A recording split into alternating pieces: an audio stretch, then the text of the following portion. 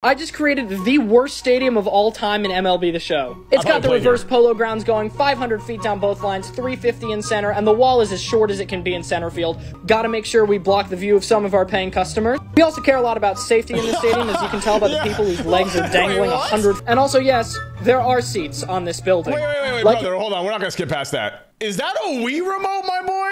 Uh, is that three Wii remotes? You're using this. This is recent. You just put this one down. That's got no batteries because you probably put it back in this one.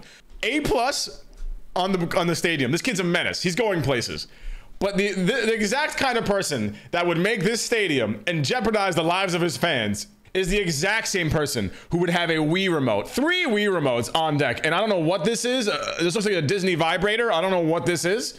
There's a lot going on here, and he's drawing on his sister's desk. I don't even know what I'm looking at here. Uh, shout out to you for the stadium. After that, you just lost me. I got mad confused.